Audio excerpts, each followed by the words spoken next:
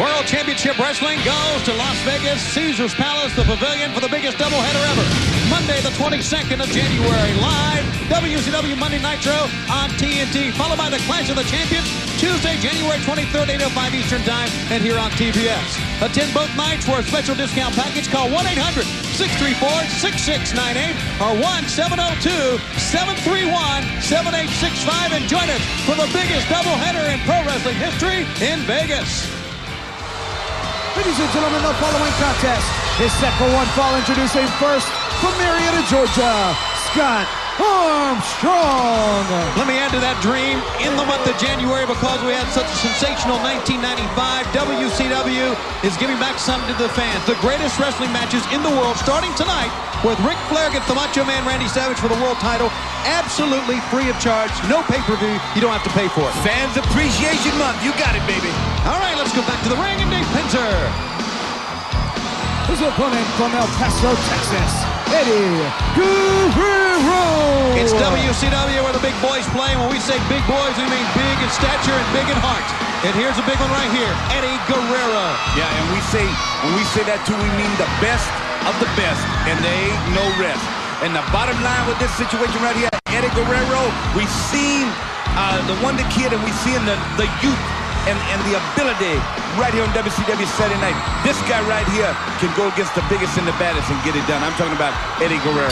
Eddie had a big, big win. Had to be considered an upset win over Lord Steven Regal this past Monday live on WCW Monday Nitro in Charleston, South Carolina. I don't know if it was an upset win.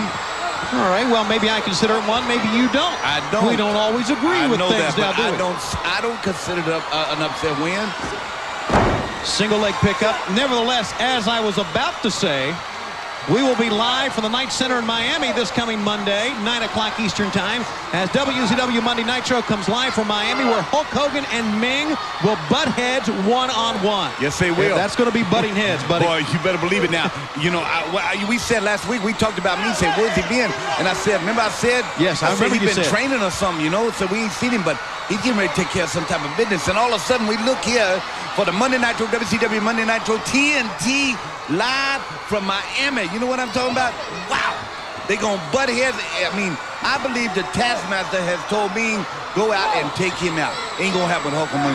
All right. Yes, all right. Scott Armstrong, Eddie Guerrero in this matchup here. We saw Steve in a tremendous effort against Alex Wright. He looked good. He really did. And now Scott Armstrong tying up Eddie Guerrero. We are seeing, and we saw at the top of the program, some of the finest mat wrestlers in the world. It all happens right here because this Oh. is where the big boys play. It's where Yes. the talent is. And look at the situation. Yeah, what do you call that besides the situation? Is there a name for that, like a Russian crab or something like that? A New England chowder? What is that?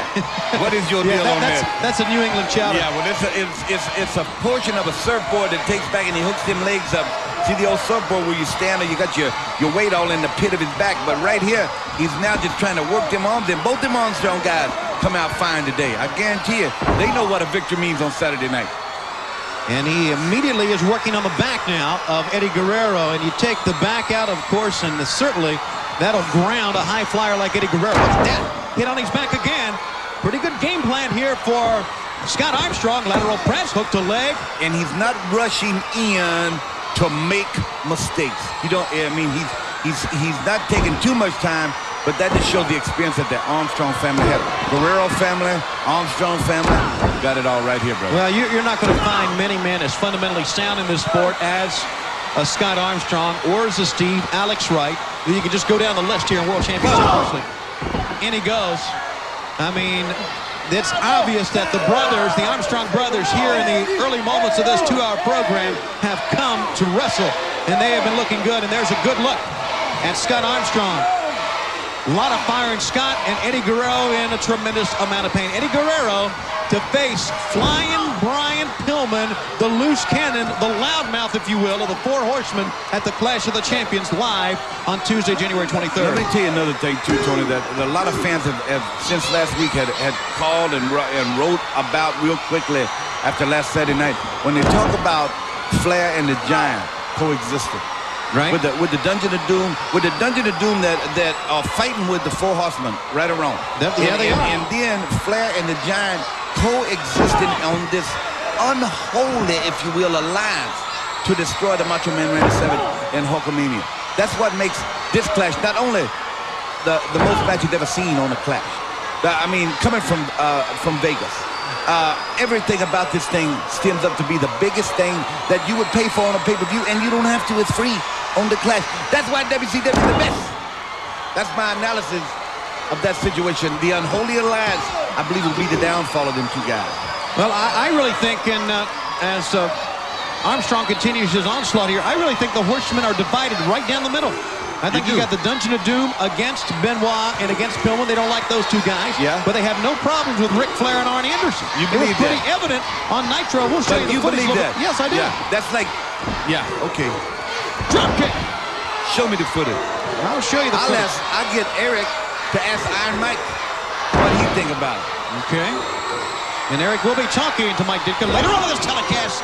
Eddie Guerrero still favoring the lower back there, but he does not stop his offense. There's a lateral press center two count that time.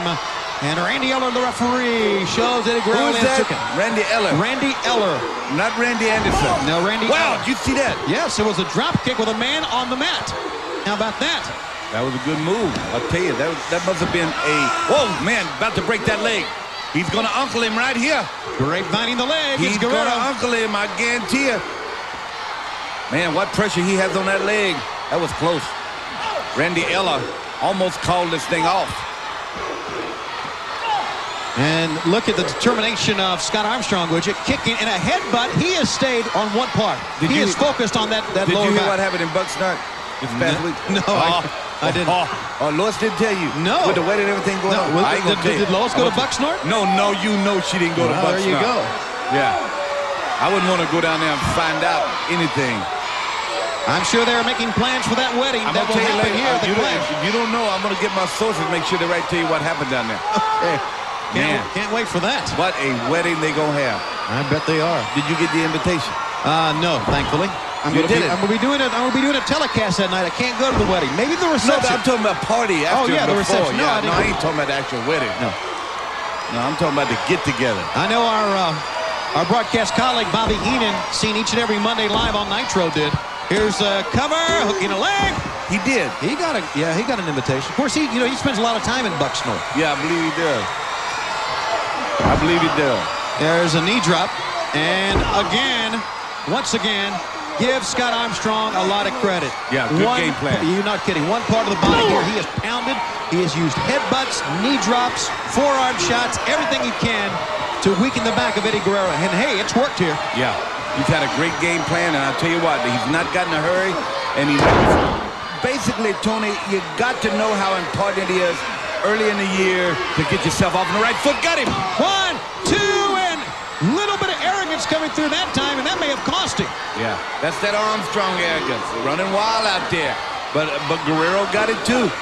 There you standing, go. standing switch. Eddie showing his quickness, but Armstrong trying to standing switch. Eddie stopped it with a knee to the gut and the oh, brainbuster. Wow. How about it? Just when you think you got him and you think it's all over, Eddie Guerrero just snaps on you, man. Is this it?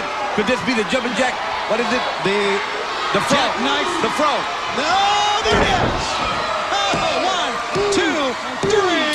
It was a great match. Ladies and gentlemen, the winner of the Jackman. match, Eddie Guerrero. And Eddie Guerrero earned it off of Scott Armstrong. More on TBS after this timeout. Listen up, JL.